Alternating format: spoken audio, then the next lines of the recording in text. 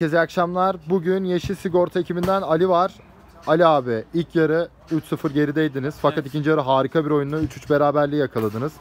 Ee, öne de geçebilirdiniz. Ne düşünüyorsun? Valla işte ilk yarı elimizden geleni yapamadık. Yani ilk yarı dediğin gibi çok e, zayıf kaldık ama ikinci yarı taşları biraz yerinden oynattık. Oyuncu değişiklikleriyle, taze kanlarla. 3-3'e geldik, galiple girebilirdik. Genç bir ekibe karşı oynadık. İyi mücadele ettik.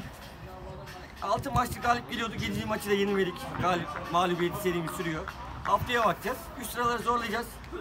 Rakibe de başarılar, herkese hayırlı akşamlar. Teşekkürler. iyi akşamlar diyorum.